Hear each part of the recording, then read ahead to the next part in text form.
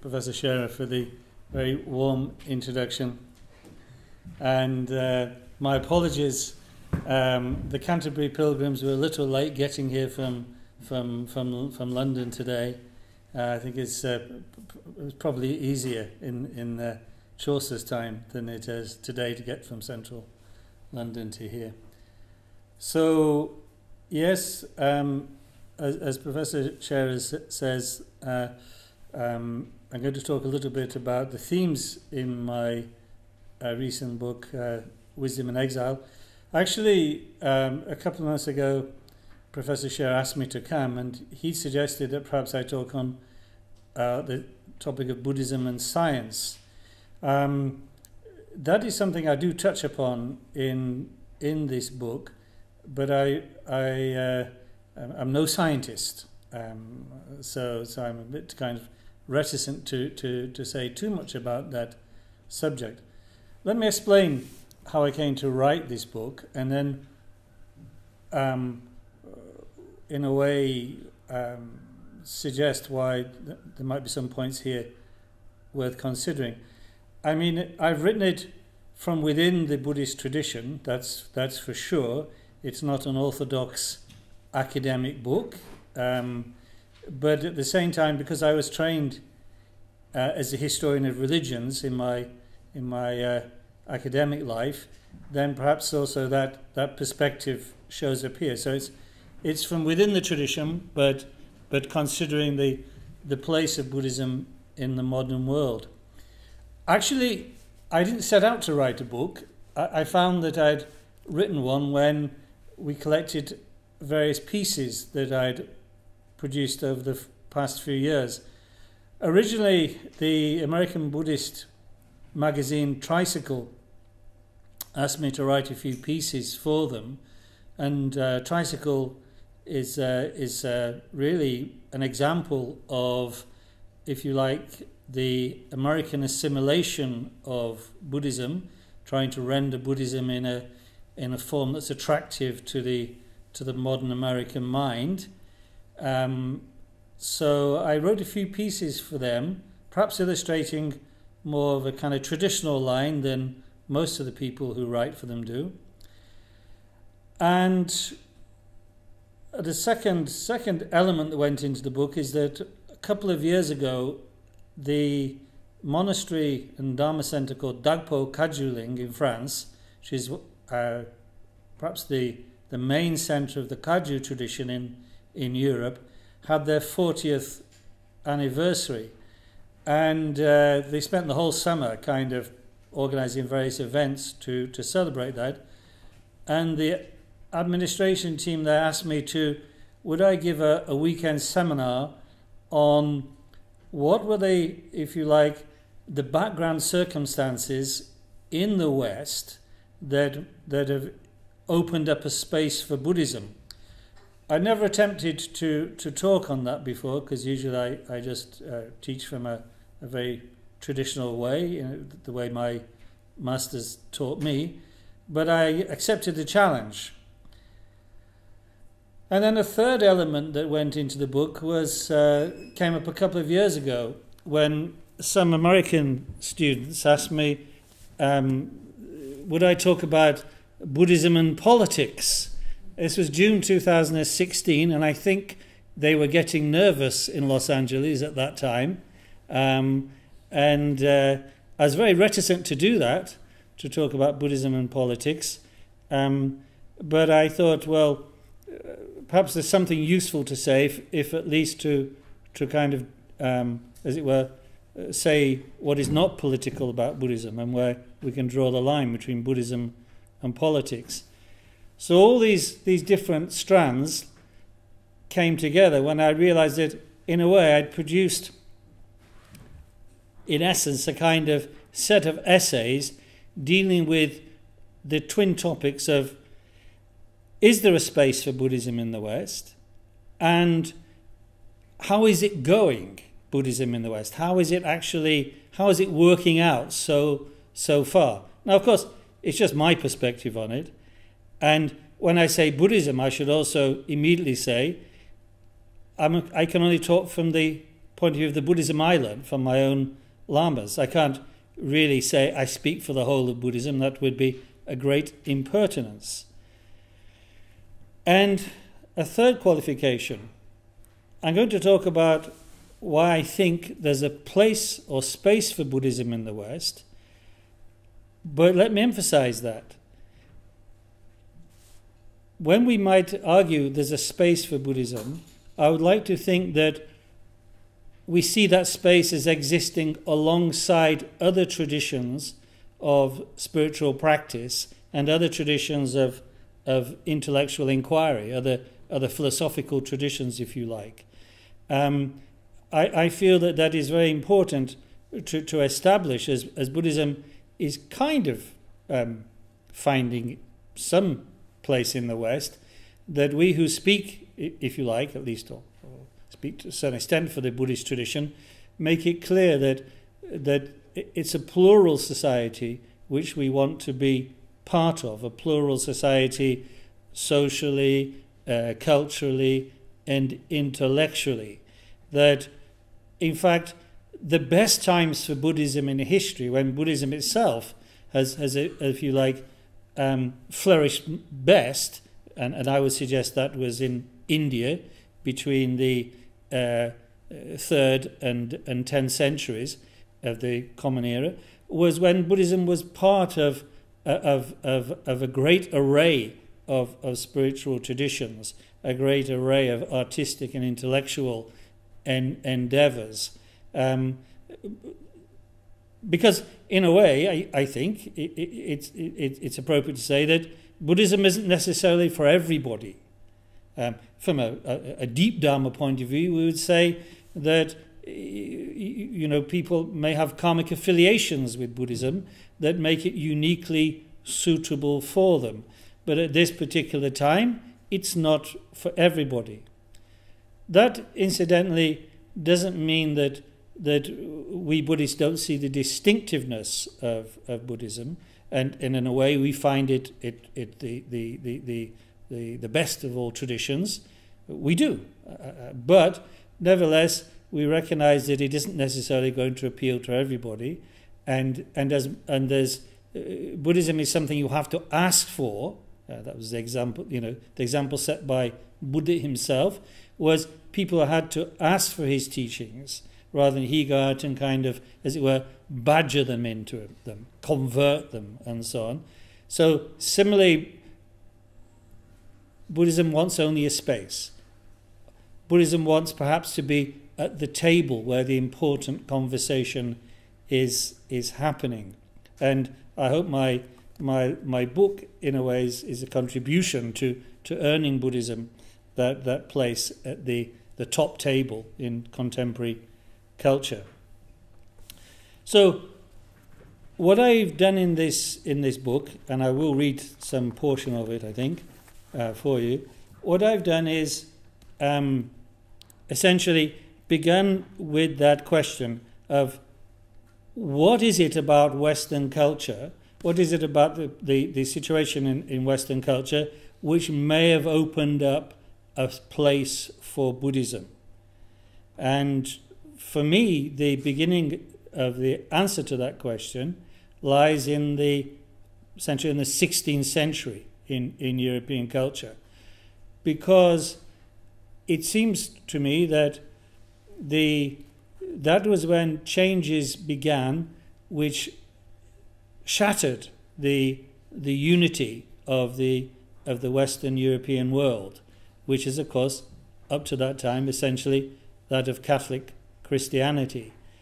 And although the Renaissance played some role in fostering the individualism of modern culture, the Reformation decisively shattered the connection, I think, that, that bound humankind into, if you like, the cosmic order and left, in a way, uh, no kind of connection between humankind and the cosmic order, except just the individual soul naked before an almighty and somewhat distant God. Of course, I'm in a way oversimplifying, But it seems to me that that decisive move away from that organic worldview of Catholic Christianity led to the individualism, which on the one hand gave rise to a new style of philosophy, the free thinking and so on of the 17th century, which in turn fostered science.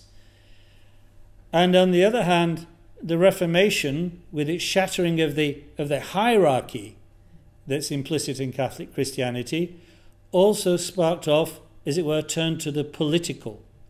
So for me, and, uh, and if I read the, the chapter, you'll see this spelled out in more detail. The two dominant forces that have come in the last three or four centuries to occupy the role that was once played by occupied by Catholic Christianity are the scientific, the rise of a scientific culture on the one side, and the rise of a political culture on the other. By political, I mean, of course, a, a political culture that, that seeks to reorder the world and bring about happiness by that reordering of the, of the, of, of the social and economic world. The scientific, the rise of a scientific culture also puts its emphasis on the external world, that believing that, of course, by reordering, as it were, the, the physical arrangements of the world, and perhaps eventually the physical arrangements of humankind itself, it can also bring about happiness. So for me, it seems that the prestige that was once, occup- once enjoyed by the church has flown to, to politics and science. And perhaps that has been to the good. Perhaps many good things have, have come from that in terms of, of, of opening up uh, things within society, producing a more liberal uh, society in some ways. And also, of course, there's been benef- many benefits from technology. But one might say that the religious instinct has not gone away. And that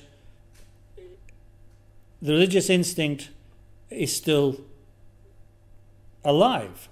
In some ways, perhaps it, it can be uh, accommodated for in the kind of utopian element of, of, of, of, politics and in some of the kind of the, the uh, aspects of scientific culture. But the need to, to find a connection with that which transcends the, the mere accidents of the physical world and the mere arrangements of society, that seems to be still present in many people perhaps not in all. And here I think Buddhism will find its space.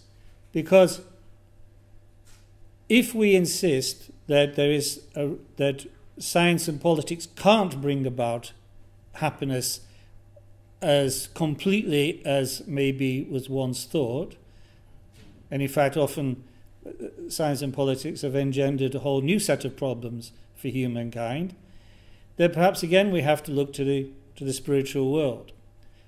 But for many, although not for all, a return to Christianity, for instance, to fill the gap, the, if you like, the spiritual void left by the rise of science and politics, isn't really going to work. So it's here, I think, that Buddhism will, will have something to offer to modern European men and women. And that is because Buddhism is a spiritual tradition, but it's a spiritual tradition which gives a major part to reason and critical inquiry. Buddhism, therefore, unlike most varieties of theism, does not depend for uh, its authority on an appeal, on any appeal to, to revelation or any appeal even to the authority of great figures in the past. Buddhism is, if, if you like, founded on experience and reasoning. This goes back to Buddha's own uh, uh, presentation to his, his followers that his words should not be accepted merely on his own authority, but rather they should take it and examine it. And only if they found that, that it was indeed reasonable and in accord with experience, should they then try to put it into practice. So, in that sense, that it, it gives a, a great place to reasoning critical inquiry, Buddhism perhaps has something to say to those who, who distrust religion because they see it, perhaps fairly, perhaps unfairly, as depending exclusively on fideism, on a, an appeal to faith. But there's more, I would say, that Buddhism has to, to, to present, to bring to the, the, the table. Because expressed in the way I've just expressed it, one would be forgiven for thinking, ah, oh, he's simply indicating that, that Buddhism is a philosophy. But we, we have many philosophies. From Descartes to Wittgenstein, we, we have philosophies which are, which are putting emphasis on the use of reasoning. That's nothing new that Buddhism is bringing. But what distinguishes Buddhism from those philosophies is that it offers also uh, methods of spiritual practice, or as we might put it in a more Buddhist way, that Buddhism says that it isn't necess- it isn't sufficient if we wish to understand the nature of the world truly, it isn't sufficient merely to have the right theory about it. We can banish some of the more gross of our prejudices and projections about the world by analysis of theories, but finally, it's a matter of how we perceive and experience the world. And that radical transformation in our way of experiencing the world requires cultivation, requires what we call in Buddhism meditation. Uh, because uh, meditation uh, is a rather inadequate translation of the of the Sanskrit term bhavana, which means literally to to bring into being, or perhaps more easily to understand, to cultivate. So for Buddhism, one must cultivate at the kind of deepest in the deepest recesses of one's being this way of understanding the world this, which, which brings about liberation, which brings about awakening from the our bewitchment by our errors about the world. So, although philosophy is always concerned with, it's best at least, always concerned with unmasking our, our kind of errors about the world, it really usually ends in theory, in, in a new position, in a new description. But for Buddhism, that drawing on its yogic tradition, is not adequate. We, we must experience the truth of the world, not merely theorize about it. So, to wrap that up, Buddhism offers not only, uh, uh presents itself not only as a, a body of critical uh, reasoning, but also as a, as, as a, a set of, of, of spiritual techniques. Amazu probably can see, I'm rather hesitant about this word, word spiritual. I, I, I feel it's a rather contaminated word. Word, it's a contaminated word also, but uh, but uh, we're, we're kind of stuck with it. And then thirdly, I think Buddhism, another thing that Buddhism brings to the table, and I think why therefore it deserves some space, is that one of the, the one of the consequences, I think, of the decline in the authority of of, of, of Christianity um, is that there's a certain amount, a, a, certain amount of confusion around ethical issues um, left in a way by, by the decline of the authority of, of Catholic Christianity. Partly it's because there are competing understandings now of what it means to be a human being. But the downside, if you like, of the abolition of a, a spiritual view of humanity and its replacement by a relentlessly secular, and in the case of some science, but not all, a materialist view of the human being, is that it doesn't really um, present any defenses for the integrity of human life and of, the, of human flourishing. Now, Christianity has done that by its appeal, I suppose, to the idea that, well, we're created by God, uh, and therefore our life is worthy, although perhaps there's an exception drawn around the animals for some, some reason, and that we're endowed with an immortal soul. But these are all things which a more skeptical time as our own doesn't really have patience for. And so is not having patience for such constructions of, of what it is to be human. It, it, it's easy, easy for people to kind of accept a more kind of mechanistic and financially more convenient way of treating human beings. Uh, and a political expedient way, know, often. Buddhism defends the integrity of life, human and animal, but without introducing notions such as a, a, a God who's the underwriter or creator of this, or even of such static entities as souls. Buddhism does this because it, it insists on the integrity of consciousness, that consciousness is real and consciousness pervades all sentient life. But it sees life as a process. It's, it does not see transcendental souls or, or uh, fixed static selves or souls in that way, but nevertheless sees that human life and animal life too, all sentient life, is endowed with consciousness and therefore is capable of happiness and suffering. So it insists that we treat life in, a, in an ethical way and it's capable of defending that because it's it's cap- because it explains that uh, through the theory of karma, action, cause, and result, that our actions have consequences. We change ourselves and change others and change the world by our actions. So, although it doesn't invoke commandments from a transcendental authority or God, it still sees that we can distinguish between ethical actions and non ethical actions. Ethical actions are those which are done in the absence of the poisonous emotions of desire, hatred, and ignorance. Poisonous emotions which spring from the conceit of self and see others merely as objects to be exploited or to be crushed.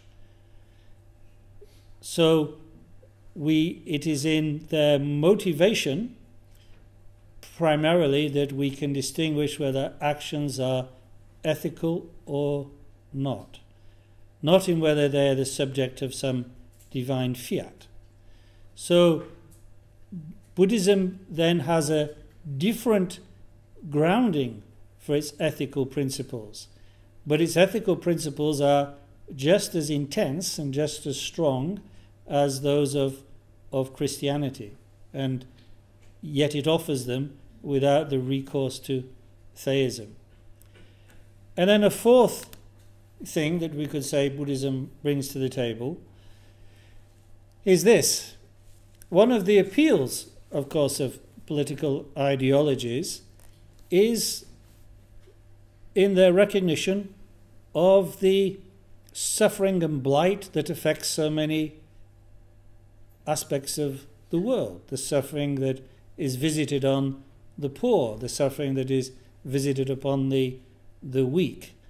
And so, out of that comes an impatience and, a, and a, an urge to change the world,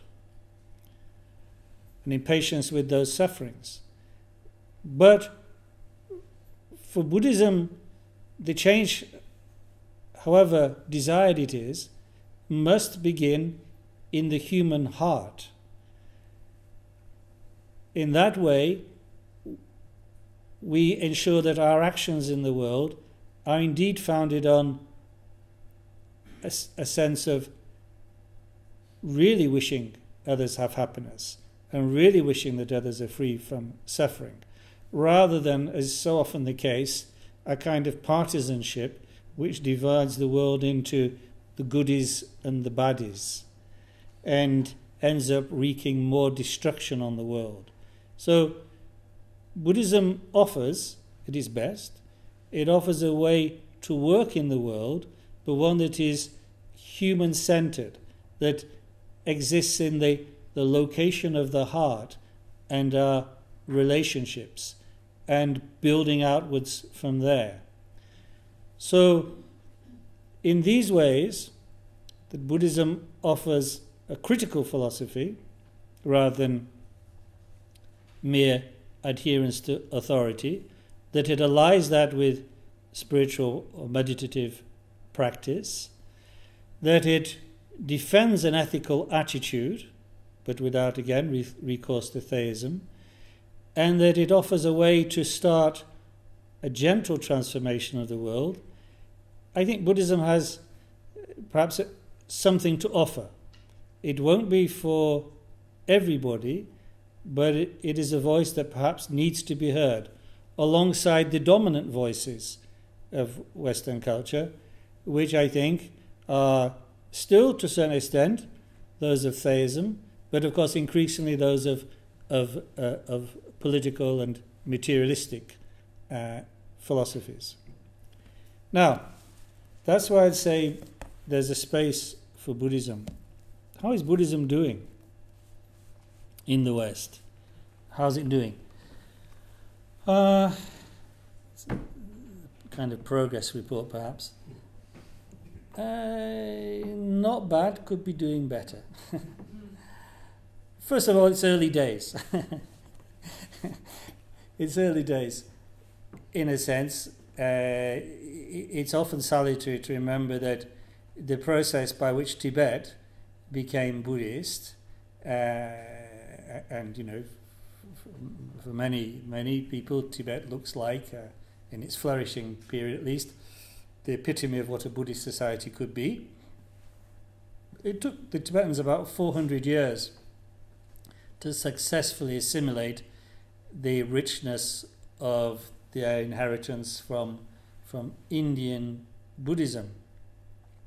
So, being as how uh, Buddhism is, is, is, is not that old in the West by any means, then perhaps one should not be impatient. Um, when did Buddhism come to the West? Well, there were certainly uh, translations of Buddhist materials appearing in Germany and Russia and uh, England and France at the beginning of the of the 19th century. And although the number of native Western converts to Buddhism was extremely small during that, that century, there were a few. And this salutary to remember. It's also salutary to remember because often the Western story of Buddhism in the West ignores this fact. There were actually, of course, already, particularly in America, Chinese and Japanese Buddhists way back in the 19th century. And they established, in some ways, the first uh, flourishing Buddhist communities in the, in the Western world. And I like to point that out because we often, uh, in our kind of usual, rather mm, Westocentric way, to coin a phrase, we, we often ignore that, that, that fact. But be that as it may, the, the kind of the, the, the, if you like, the public exposure of Buddhism in the West really gets going in the, in the 50s with the literary movement in America called the Beat Generation. And uh, then, the, then by the end of the 60s, early 70s, you're really starting to see the takeoff of, of new Buddhist centers and groups. In England, for instance, the uh, the Buddhist Society was founded in 1923. The Buddhist Society in London was founded in 1923, and up till about 1970, there was only three or four other centres and groups in the United Kingdom. But then they exploded in number and continue to, to do so. Uh, the latest census, there were 250,000 Buddhists in England and Wales, a half of whom were native English born, half of whom were more recent immigrants. But that's still uh, that doubled the census numbers from 2001. It'll be interesting to see what the numbers are in 2021. So, from the point of view of numbers, Buddhism is not huge, but but bigger, considerably bigger than it was. What are its problems? I think there, there are a number of problems that Buddhism faces in the West. Um, one which, in a way, is external, and so I'll just mention in passing, and then some which I think are internal to, to Buddhist communities in the West. The, the one which is external is the growing anti religious temper of our times. It is, I think, easy to see that, that we live in a time when religion, uh, having suffered a, a long decline, I believe, from the period of the Reformation down to the present day, is almost falling off a cliff in recent uh, in the recent decade or, or, or, or so, especially in terms of uh, allegiance among younger younger people, and for various reasons, some of which are too complex and maybe even too sensitive to go to go to go into here. Religion is now um, regarded by many, I think, as as as uh, at best completely and utterly irrelevant to life, and by many actually a, a, an extremely negative force, which we would all be better off uh, with it uh, passing away. Um, so there's a, a strong, I think, anti-religious bent in the in the modern world. It doesn't uh, convince everybody. Not everybody's signed up to it, but but it looks like it's growing and will continue to grow. And although Buddhism, in a sense, I think has benefited from that up to a point, I don't think it will continue to do so. Let me explain that. Many of the people who come to Buddhism in the West uh, in the last 40 or 50 years, I read about Buddhism first in 1966, so I'm kind of long in tooth enough to, to know this.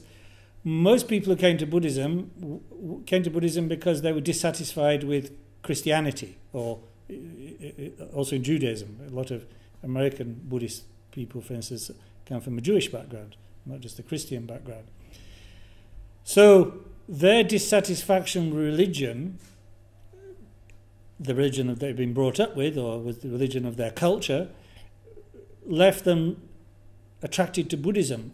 Why? Because I think in many cases they felt that Buddhism was not really religion, that it was that, that it avoided many of the uh, uh, escaped having the defects of, of, of religion. Now, the way I argued for Buddhism having a place at the modern table, you could say, well, haven't you just done the same thing? Well, yes and no. Because I, Buddhism is a religion in the sense that it believes in the transcendental dimension of being. It, it believes there's something more than birth and death. Buddhism is a religion in the sense that it has an organized system of thought about the world. And Buddhism has communities. So, although Buddhism lacks a god, it has in many other respects the clearly the the, the, the features of a religion. And often you find that many of the much of the initial enthusiasm Western converts have for Buddhism actually disappears when they realize, oh my God, this is a religion. Perhaps the wrong uh, addressed the wrong person there, didn't I? Oh my God, this is a religion after all. I remember many years ago uh, in Manchester there was um, some chap came to our little Buddhist center there. And uh, he came to the beginner's class, and the beginner's class was just featuring uh, calm abiding meditation. And he was very, very happy with that, and he persisted with it for a year. Unfortunately, then he made the choice to come to a teaching I, I was giving uh, on the, the graduated path. And this teaching began with what it is to take refuge in the three jewels. He was most indignant. He said, Damn you, I've been deceived. This is a religion after all. so I wasted this poor Marxist, you know, oh, I didn't. I mean, he'd been, I hadn't been teaching his beginners' classes, but, but we wasted this poor Marxist chap, his whole year of his life he could have been spent bringing about the revolution instead of sitting on his bottom with some boring Buddhists. Anyway, you can't win them all. So I think there is a problem for Buddhism from the anti religious temper of our times. I don't deal with that much in here, in this book. Rather, I deal, as I say, with problems that can affect Buddhism from inside. And the first one, I think, is the problem that we may be tempted to assimilate Buddhism to existing elements within our culture, which is why he says, opening his recently published masterpiece, chapter 4, is it chapter 4? Yes, is about science. Chapter 3, science. It's not really about science. What it's about is that there's an increasingly vocal strain among some who describe themselves as Buddhists in the West that Buddhism must make itself fully scientific in order to flourish in the West. Now, what's wrong with science? Well, nothing actually. Uh, science, understood properly as the investigation of physical phenomena how they, the laws governing their workings and making predictions based upon those investigations about physical phenomena is the application of reason to the physical world. It is neither good nor bad. It can depends for what motivation we use it. But it has no it in that sense offers no challenge or problem for for Buddhism. Because it has nothing to say about the, the truly important matters from a Buddhist point of view, about the nature of the mind, the nature of reality, the nature of what is moral and what is not moral, how we may gain liberation from suffering. All these are questions which are the core concerns of Buddhism. In fact, you see, the argument that we should make Buddhism more scientific is very often a disguised uh, form of the idea we should make it materialist. Because there's all the difference in the world between a proper respect for science as praxis, as investigation of the world, and a philosophy, which we could label scientism, which believes that science alone is capable of answering all questions about the nature of reality, about the nature of value, about the nature of morality, and so on. That is actually materialism, which disguises itself as science, to cloak itself in the prestige of science. Materialism has been around as a philosophy since the time of the Buddha himself.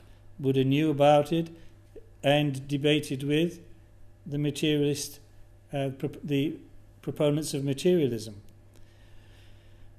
A Buddhism that accepted materialism would not be a Buddhism at all because it would not believe in the mind. And for Buddhism, the mind is the source of happiness and suffering.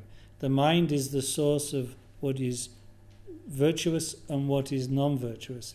The mind does not arise from physical things, it cooperates with them, just as the mind cooperates with the brain and the nervous system, but is not reducible to them.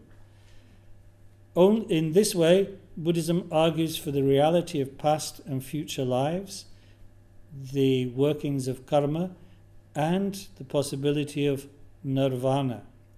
Without, if Buddhism was to become materialism, it would first of all become what Buddha described as annihilationism, a wrong view which he condemned just as strongly as eternalism, the view that creates immortal, unchangeable souls and immortal, unchangeable creators, it would not be a Buddhism anymore.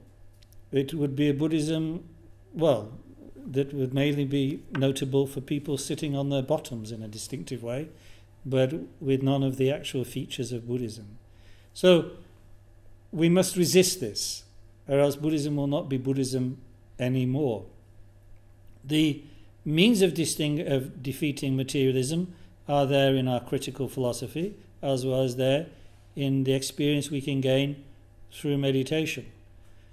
Should we reject science as Buddhists? Not at all. We should appreciate it for its skills and the benefits that it can bring to, to humankind, practiced with due respect for its limits and due respect for its power, and the necessity for human beings to use this power for good.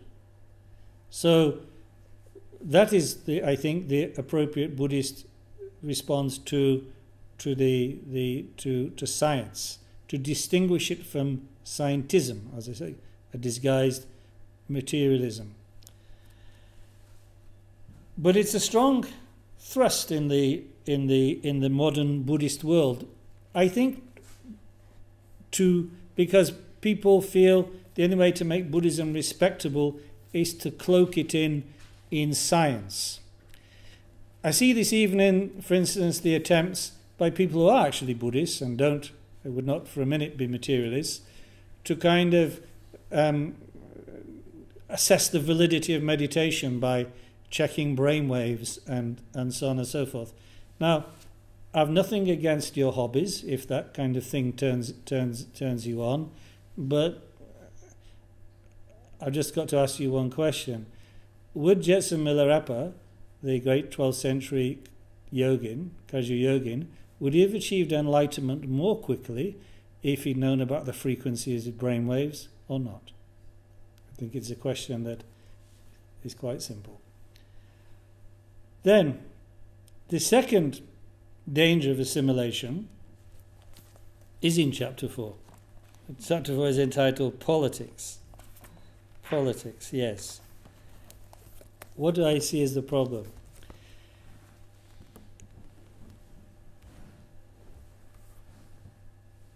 There's a danger for politi- for Buddhism, I think, in politics, in getting too close to politics in Buddhism being identified with a particular political system. We can start by considering an example from history. In the last century, many earnest Buddhists in Japan, many leading authorities, particularly in the Zen school in Japan, um, allied the prestige of Zen Buddhism to Japanese militarism and xenophobia. This is a kind of a story which has only emerged really in, in recent decades. But in other words, there's certainly a large body of opinion in Japan that Buddhism validated militarism, xenophobia, massacres, experiments on prisoners, and so on and so forth. Because the Jap- Japanese imperialism and Buddhism were identical. It's horrifying, of course. And many Japanese Buddhists uh, are, are extraordinarily regretful about, about that episode. But it, should be there in the back of our minds. Because we may feel that Buddhism is absolutely identical with our preferred ideology. I think we should be, be cautious about that, lest we tie Buddhism to something that drags it down to destruction. In fact, you see, while Buddha himself, what were Buddha's political views? It's pretty impossible to discern what Buddha's political views are. Uh, not that he wouldn't, not just that he wouldn't have known the word politics, which I think is Aristotelian in origin, but as we can, as much as we can reconstruct from his life, for instance, Buddha didn't have seem to have a preferred form of governance. He counseled kings who came to him. He counseled the republican oligarchs of his native Shakya clan. He didn't express a preference for either form of governance. When it comes to economics, Buddha had no economic theory. neither Adam Smith nor Karl Marx uh, passed his lips. Uh, beyond the need for honesty and avoiding livelihood which was built upon the exploitation and abuse of others, uh, Buddha had, and the fact that we should be content rather than greedy, Buddha said nothing which pertains to economic arrangements. That doesn't mean to say we, as those of us who are Buddhists, should not have views about these things, but it means we should be extraordinarily cautious about saying that we have those views because they're identical with those of Buddha. They're simply not. Buddha was neither, to, to use contemporary labels, neither right wing nor left wing, nor centre. And then one might say to that, well, sure, then you should form a Buddhist political party that will truly represent Buddhist values in politics. You, you could, if you like, you go ahead. I would prefer to be a little cautious. The history of so called Buddhist political parties and so called Buddhist governments has not been completely a starry one. Uh, even in, in Tibet, um, where there was, uh, from 1642 onwards, uh, a government uh, which was identical with one of the major traditions. It is not without, shall we say kindly, it is not without its blemishes. So I, I think a becoming modesty about politics is good for us Buddhists. Besides which, it seems to me that much of modern politics um, is founded on a kind of subterranean Christian theme. This is something I talk about in the book when I talk about the legacy from the Reformation. That the the Reformation, one of the kind of major outcomes of the Reformation, of course, was the the uh, transference of uh, the idea of the Christ coming and setting up the millennial rule and all just injustice being ended, all hierarchy being finished, Christ ruling with the, the elect for a thousand years, that sparked off the peasants' revolt in 1525, just eight years after Martin Luther toddled along to his uh, church in Wittenberg and started the Reformation. That, so drew on Christian emotion and the Christian sense of a, a linear history, that history has a beginning, a middle, and a definite end point, and we're moving towards it. The whole of progressivism in politics seems to me to be, in a way, the, the continuation of this, even though the biblical elements have been somewhat submerged. They weren't in the 17th century, when this thing was replayed in England. Uh, but by the time of the French Revolution, of course, they had been submerged. But nevertheless, the conviction that there will be a cataclysm and the just will, will win the day and will issue in a perfect new, a perfect, um, end, perfect society, bring back the end of history in that way. That is a very major element in most political movements in the modern West uh, culminating in the 20th century. Well, I shouldn't say culminating because who knows what horrors the 21st century will bring, but uh, uh, coming to a grisly temporary climax at least with the Third Reich and uh, communism in the in the 20th century. But you see, that view of history we Buddhists can't buy into. It's a Christian one. It's essentially a linear teleological, Christian teleological view of history. We, our view of history in Buddhism is cyclical. Things arise and pass away. Things improve and decline. There is no end of history in that way. Buddha will not return and, and bring about the end of history.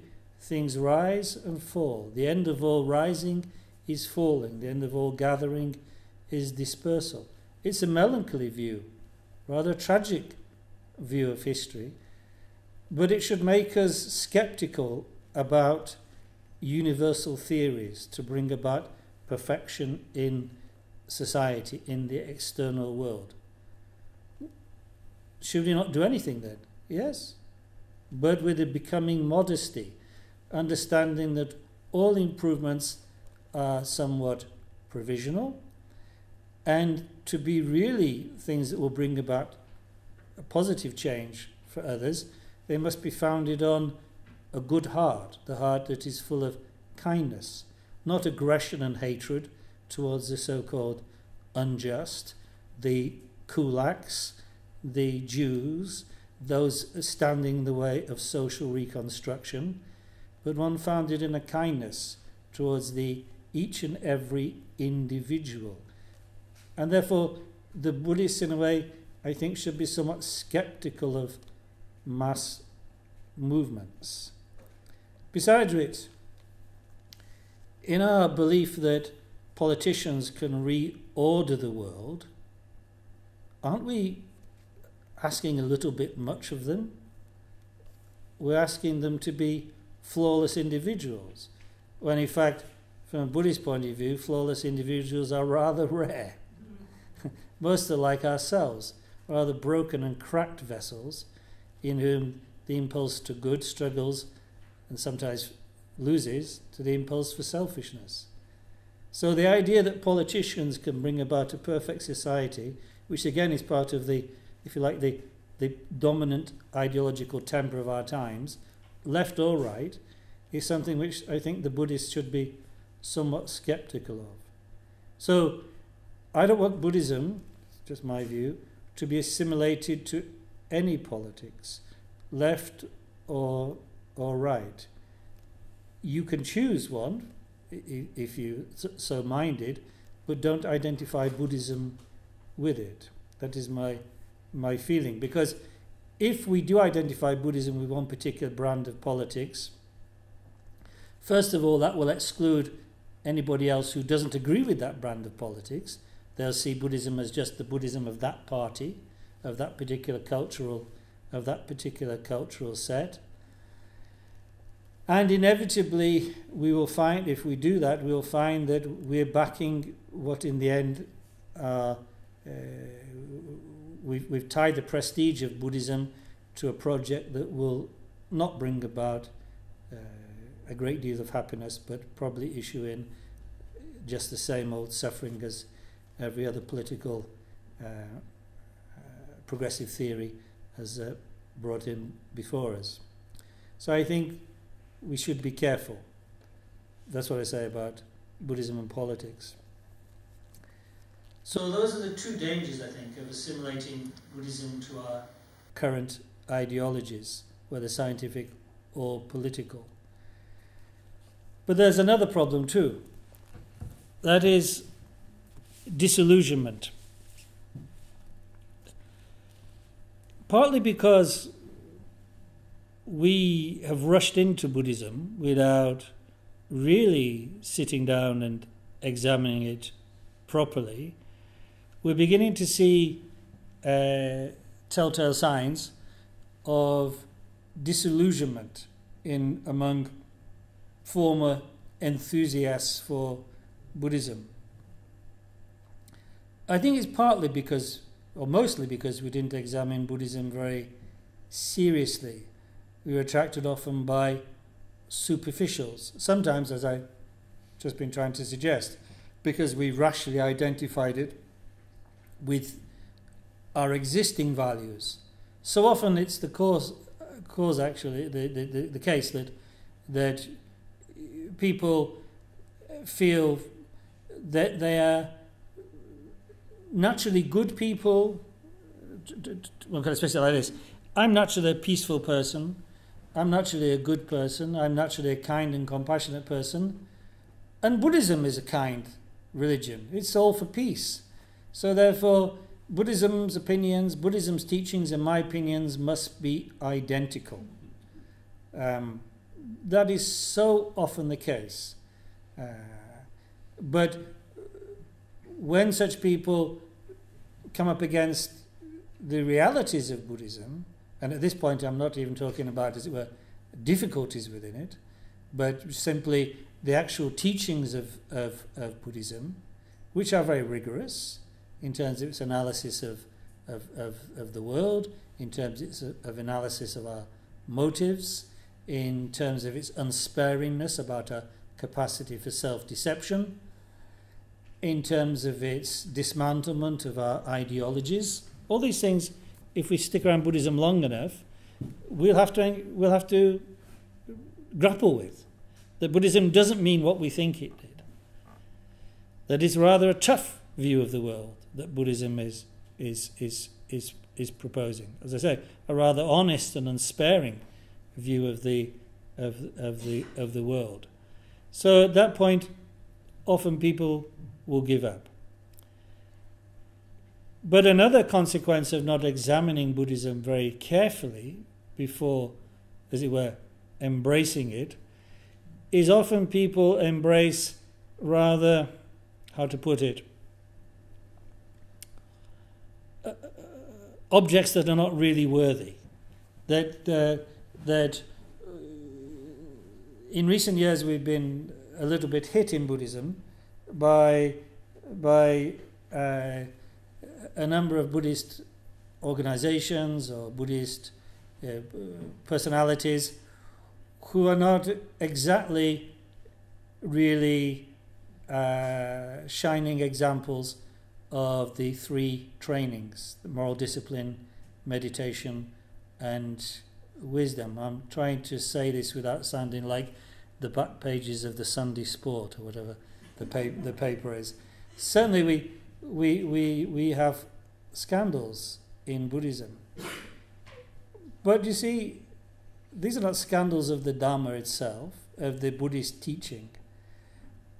And I rather think that if people put more attention to the teachings and be, become convinced intellectually and experientially of the truths of Dharma, they probably wouldn't have been attracted to uh, the kind of charismatic but dubious characters or seductive organizations and even if they had initially run into them and then got disillusioned, they realized that the object of their disillusionment is that this person doesn't actually live up to Buddhism, or this organization is not in accord with Buddhist principles. But too often, their attraction to Buddhism is not founded on that, that critical inquiry, is not a really profound adherence to Buddhism. It's rather superficial. So in that case, they they will simply become they will simply reject Buddhism as a as a whole, and we can expect this. We can expect more of this because Buddhism as an institution, as an institution uh, comprising human beings, is full of people who are simply followers of the Buddha's teaching. Not, not they're not Buddhas. They're not fully enlightened beings. They come in all shapes and sizes. And to add to this, the fact is Buddhism is rather new in the West. And so people haven't yet found their bearings. It wasn't that there were no scandals in Tibet, for instance. I, I think there were sometimes people who, who misbehaved. But generally, the checks and balances were there of, that come from having a thousand years of experience around Buddhism so that people were much more able to, to discern the characteristics of, of dubious behavior, of, of, of, of, uh, of uh, outrageous claims, and, uh, and, and so on and so forth, in a way that we're not because Buddhism is unfamiliar. So the answer to this problem, therefore, I think for Buddhism is simply to, to quote uh, the, the, the phrase of uh, the, our former Prime Minister, uh, Mr. Anthony Aloysius Edward Blair when he called for education, education, education. But I would say Dharma education, Tony. Uh, this is what we need. But in the modern world, people don't have much time for that, unfortunately. They want quick and easy presentations. And, and, and uh, unfortunately, because of, of, of that, they're more likely to, to adhere to the, the flashy and the, and the and the charismatic, and and get badly badly burnt by this. Any other problems for Buddhism in the West? Oh, how long have you got? but another one, perhaps one I, I want to close on, is one that some might not think is a problem. I'm not really sure myself. But, and I do touch on it in here a little bit, it's the rise of the mindfulness movement.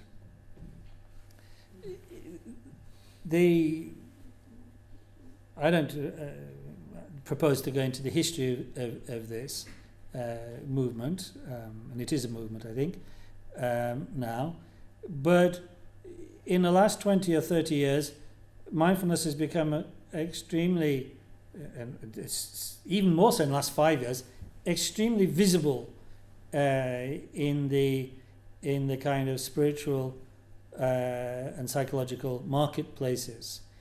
Of course, it definitely has its roots in in Buddhism. If you were to trace them, we would be able to trace the, the movement, the movement's origins in Burma through through uh, uh, Sri Lanka, through Germany to some extent, but mainly through America. And in all of those links so far, we would be looking at people who were very consciously Buddhist. But mindfulness now is, of course, far beyond those Buddhist origins. For many people, this is great because mindfulness offers a way, they believe, to bring people to Buddhism. The idea being that if people try mindfulness, they'll ineluctably want more and want to go to, to Buddhism. And I've been told that this was certainly the approach that uh, Dr. Kabat-Zinn, who I think is quite influential in this movement, was urging when he uh, launched things in the 1970s. But does it work? I, I don't mean does mindfulness work, that's another topic, but will it bring people to Buddhism? Perhaps, but just as likely, it will prevent people from going to Buddhism. Why do I say that?